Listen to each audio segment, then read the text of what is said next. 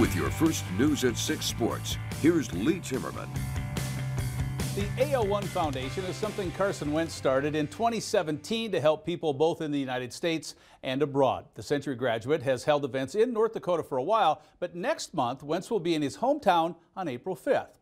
Carson spoke with Wayne Wolf about it on North Dakota Today. They also took some time to talk about his day job. If you do not happen to know, Carson is an NFL quarterback. Right now, he's looking for a job after spending time with the LA Rams last year. It was it was wild, uh, you know, for only two months being down there with a, a brand new brand new baby and two other girls and uh, my wife and um, learning a new playbook and all the fun stuff that came with it. LA's a whole whole different world um, in and of itself. So it was it was fun. We enjoyed it. I enjoyed the, the guys. I enjoyed being back in the locker room. Enjoyed the coaching staff. Um, great things to say about all, all the things they had going on there, and um, enjoyed the time. Enjoyed the one game I got to start, and had a ton of fun doing that and playing and winning. And so, um, yeah, looking forward to whatever whatever's next.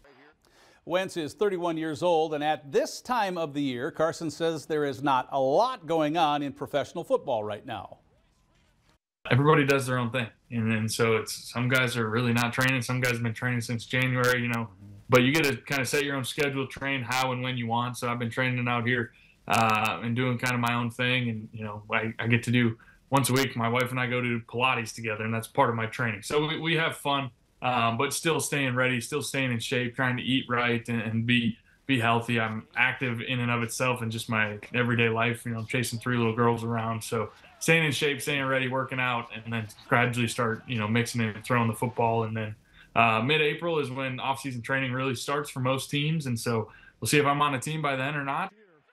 Carson's NFL career started when he was the second pick in the 2016 draft by the Eagles. If you're interested in his April 5th private event in Bismarck, just go to ao1foundation.org. Carson's college alma mater is holding its first spring practices with Tim Polasek as the Bison head coach.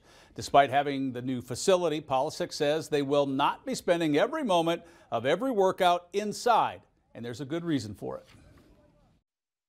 Just maximizing the space and then quite frankly you know even uh, next week will be the offense will be outside. I think it's okay to establish some toughness.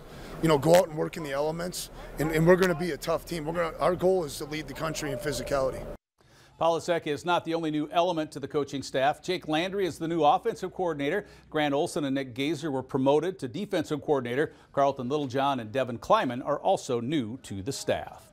If the WDA coaches are correct, then Legacy will be the number one seed for the West Region Baseball Tournament. Lucas Vasey is a returning All-State player for the Sabres. Legacy also returns the likes of Marcus Butts, Jamison Johnson, Isaac Mitchell, and Nick Patton. The Sabres received five first place votes from the coaches in the preseason poll. The others going to second place Minot and number three Dickinson. The Braves, Patriots, and Demons are next in the first games on the schedule.